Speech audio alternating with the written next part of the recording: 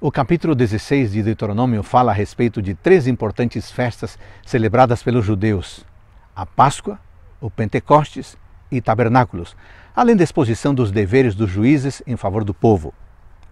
Moisés apresenta primeiramente a festa da Páscoa, celebrada no mês de Abib, o primeiro mês do calendário judaico, mais tarde, após o exílio babilônico, chamado de Nissan, que começava entre o final de março e o início e o final de abril.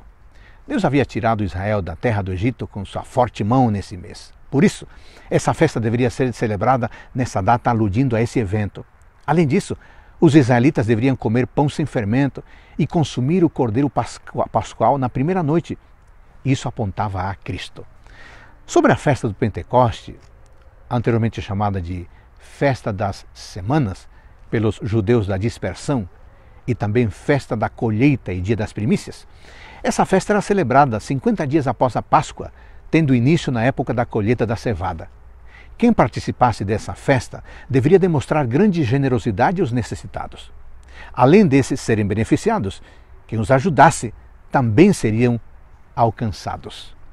Acerca dos tabernáculos, eh, Moisés destaca essa festa como sendo a última das festas anuais dos judeus. Os homens deveriam se apresentar a cada ano com alguma oferta, indicando as bênçãos recebidas de Deus nas colheitas. No entanto, a entrega dessas ofertas não deveria comprometer a saúde financeira da família.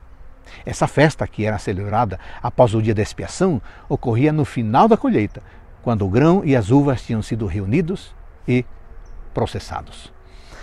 A respeito dos deveres dos juízes constituídos por Moisés, ele, eles deveriam julgar é, corretamente, retamente, a fim de solucionar problemas do povo, segundo as ordens de Deus.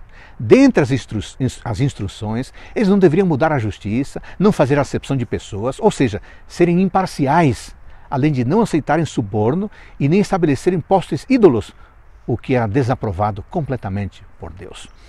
Portanto, amigos, entreguemos-nos a Deus, o nosso grande guia, para que possamos suportar as dificuldades inevitáveis da vida e celebrar as vitórias que são disponíveis a nós ao longo da jornada. E toda vez que nós tenhamos que decidir justiça, que tenhamos que fazer julgamento em pequenas ou grandes causas, sejamos corretos, sejamos justos, sejamos imparciais. É assim que Deus nos trata, é assim que Ele é. Ótimo dia para todos nós.